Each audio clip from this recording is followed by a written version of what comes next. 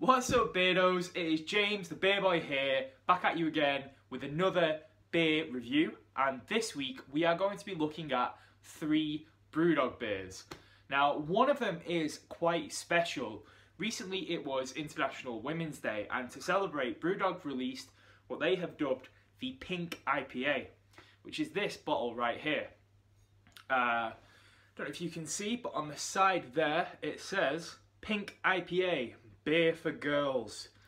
Uh, so they brought this out um, as a sort of celebration um, for women everywhere. This was a beer that you could pick up at Brewdog stores for 20% less if you identified as a woman. And that was to sort of address the gender pay gap. Uh, on top of that, every um, one of these beers sold, Brewdog uh, donated 20% of the proceeds for the beer to uh, women's charities, which is admirable. I've been a big fan of Brewdog for a very long time. They're one of my favourite breweries. Um, I go to the Brewdog bar in Manchester quite a lot just because I really enjoy the vibe there. I like the beers. I like that they try something different. I like that they have their Equity for Punks campaign where you can own a share of Brewdog. I think everything they do is really clever. I know that there are some detractors for Brewdog, but I am definitely not one of them. I am a big Brewdog fan. So I think I'm going to try this pink IPA. So the, the other interesting thing about this is it is literally just the exact same as Punk IPA. And I've got one of the Punk IPAs as well. So we can do a bit of a test between the two of them, see if they really are the, uh, the exact same beer, and I can let you know. Alright, so we're going to start with the uh, Pink IPA here. Got to get my bottle opener out. uh, so I am going to be drinking this beer from the bottle.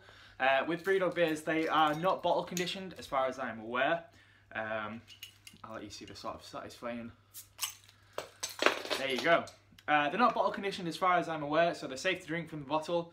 And I kind of like drinking from the bottle. It's something that uh, me, my friends, my family call uh, cowboying a beer, as in to drink a beer like a cowboy in a western film. So, right off the bat, it smells like a Punk IPA because it is a Punk IPA. I'm a big fan of Punk IPA. If you haven't tried that beer before, it's kind of a staple for a lot of uh, beer lovers out there. Uh, most bars these days stock beer, uh, Punk IPA as their sort of craft beer. Um, it's a nice beer, I like it. I have to admit, I am more of a fan of Dead Pony Club. I think that that beer is a lot nicer, it's a lot hoppier and lighter, but you can't go wrong with uh, Punk. So let's give it a taste. All right, yeah, right off the bat, you've got the the hoppiness, you've got the uh, the richness of the flavour. It's quite a complex beer, even though it's sort of their headline beer, the beer that everyone knows and loves. Um, but yeah, I, I really do, I really do like this beer. On the back it says Pink IPA, not beer for girls. But on the front it does say beer for girls. it's a good beer. There's not much more to say about it really. It's a beer that I enjoy, it's a beer that I like drinking, it's quite an easy drinking beer, good for parties and things like that. Mm. Yeah, I've got these nice and cold as well. Um, I actually picked this beer up from Tesco, uh, just around the corner from my house, which is unusual. Um, I didn't think they'd be stocking anything like this, but Brewdog must have sent them out to all of their sort of suppliers. That's a good beer. I cannot argue with it at all. If you've not tried Punk before, I will give go a bit more in depth about what the beer tastes like. Like I said, it's very hoppy. Um, it's quite zesty and citrusy. Um, it's quite highly carbonated. There's a lot of uh, bubbles in there, which I don't think is a necessarily bad thing. It is quite light, even though the alcohol percentage is quite strong. This is a 5.6% beer, um, which is quite heavy for a sort of easy drinking IPA. Um, there's a little bit of sort of caramelly maltiness that comes through as well, which I don't complain about. Um, so yeah, great beer, great initiative. I've seen a few detractors of the initiative on uh, Twitter and Facebook and things like that. I don't really agree with it. Like, so what? You get it 20% cheaper. You're just going to pay, if you're a guy like me, the same price as you would normally pay for a Punk IPA. It's just that if you identify as a woman, you get it a cheeky bit cheaper. And more power to them for for doing things like this. Brewdog don't shy away from doing interesting initiatives. Uh, so yeah, hopefully they'll do more things like this in the future and we can enjoy it. Okay, so that was the pink IPA. Next up, we are going to try the uh, punk IPA. Now, this is a little bit redundant, to be honest. Um, it's literally the exact same beer as pink IPA, but I thought, oh, that was really bad. Uh, I thought I might as well give it a go just to tell you if it does taste any different. I don't know why they'd lie to us, but who knows. Uh, yeah, smells exactly the same. Hmm. Tastes exactly the same, yeah. Good beer. Uh, this one is celebrating the Equity for Punks campaign. Um, every year they sort of release shares that you can buy. Um, so yeah, if you do fancy getting involved with uh, the Brewdog brand, or if you like what they do, have a check out of the Equity for Punks package. I'll put a link in the description for that one. Um, and yeah, I'd love to know what you guys think about this initiative. Is it a good idea? Is it a bad idea? Is it going to lose them customers? Are you a fan of Brewdog and what they do and what they've brought to the craft beer marketplace? Um, yeah, I'd love to know your thoughts about all that kind of stuff. good beer. So because that was sort of the same beer twice, I thought I would review another Brewdog beer as well. Just because, like I said, I'm a big fan of them, uh, and, and it was three for five pound deal, so I thought I might as well get three beers. So the other Brewdog beer that I've got is their Kingpin beer. Now I've heard a lot of good things about this beer. This is their 21st century Pilsner. Um, I'm not usually a huge fan of Pilsners. They're probably one of my least favourite beer types. Um, but I'm willing to give this a go. Because I've heard very good things about it. I've heard it's very light, uh, fragrant, hoppy, all the things that I love from beer. So let's give this one a go. There we go, first time. uh, this smells nice. Right off the bat, it's got that Pilsner smell. I can never put my finger on what it smells like. There's always, hate to use a SpongeBob quote, but there's always a smelly smell with Pilsners that is just like unmistakable. It's not a bad smell. There's actually not all that much to it, but it's got a kind of, it's like wheaty. What it smells like is if you've ever been to a brewery, um, sometimes they will pass around like hops and malts and all that kind of thing. Uh, and the, just the smell of the brewery in general with the water and the hops and the mash and the sour and all that kind of stuff. That's what this beer smells like. It smells like you're just inside of a brewery. Yeah, um, so let's give it a little taste. Again, we're going to cowboy this beer. Ah, that's a good Pilsner.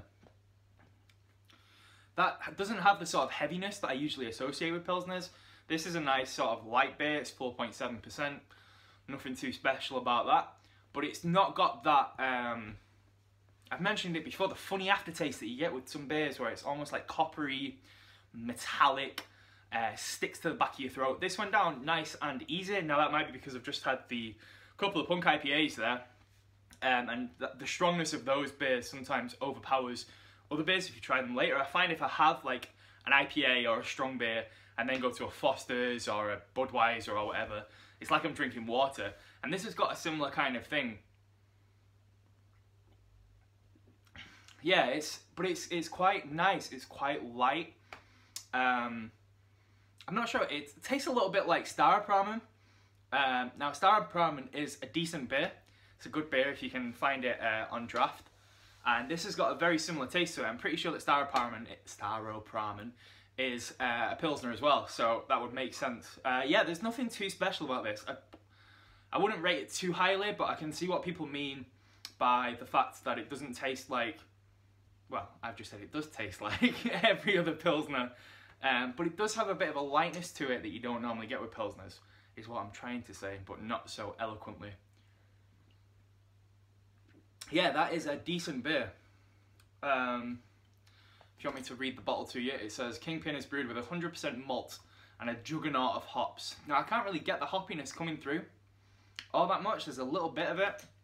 Uh, it says, expect the first wave of robust, full-bodied full bodied malt character to hit.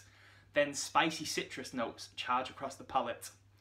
I don't really, uh, I don't really get that. Uh, so when I taste it, I've got kind of, not much smell in front, that kind of brewery smell.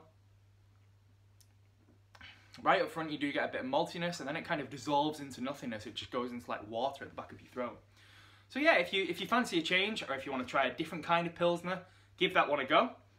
Um, if you do want to support uh, Pink IPA, if you see it near you, you might as well get it. It's just the exact same as Punk. It's the same price if you are a bloke. It is slightly cheaper if you are not, or if you identify as being a woman. Give that a go. Might as well. It's for a good cause. And then Punk, tried and tested, decent, can't complain, good beer. And that's what we're all about here. If you have tried a good beer and you would like to tell me about it, please do so in the comments. I love to hear about beers um, from around the world. Even if I can't get hold of them, it is nice to know that they are out there. And enjoy beer. Just go out and have a drink, have fun, enjoy yourself. If you can like this video, share this video, all that nonsensey YouTube stuff, subscribe, you know, all that kind of boring stuff. And I will see you next time. Next time, we're gonna have even more Brewdog, if you can believe it. I have got my hands on a growler of Native Sun, which is their New World IPA, I believe it is.